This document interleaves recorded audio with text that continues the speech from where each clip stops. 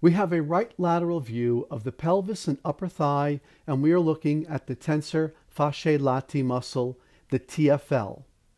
For context, the gluteus maximus has been ghosted in with less density so that we can see through it.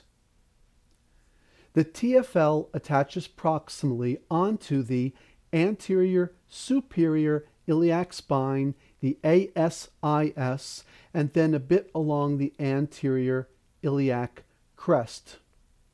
From there, it runs distally and a bit laterally and posteriorly to attach into the iliotibial band approximately one quarter of the way down the thigh.